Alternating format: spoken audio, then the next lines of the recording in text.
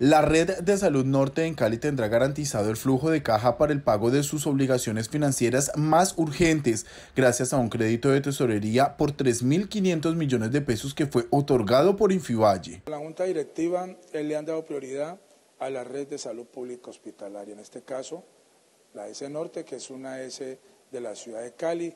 y que eh, ha sabido acoger estos beneficios manejando simplemente mientras que le llegan los recursos un crédito de tesorería y apenas lleguen los recursos van pagando. Es una estrategia muy importante que los gerentes de los hospitales y de la ESE han utilizado gracias a, la gobernadora que ha querido que estas ESES no demoren eh, los insumos, no demoren los pagos, utilizando mientras que le llegue el recurso, repito, el crédito de tesorería. Con este crédito se garantiza el flujo de caja para que 17 instituciones hospitalarias adscritas a la S Norte sigan funcionando y prestando servicios de salud en la capital del departamento. Muy agradecidos con esta institución que nos permite obviamente oxigenar nuestra caja para poder pagar proveedores y lo más importante a nuestros funcionarios su prima Navidad. Recordemos que el sector salud ha sido uno de los sectores más golpeados con la pandemia, aunque hemos sido partícipes totales en la pandemia, también estamos sufriendo el no pago de cartera y esto obviamente nos refresca la caja. Con la entrega de estos recursos, Infivalle reafirma su compromiso con la salud de los vallecaucanos.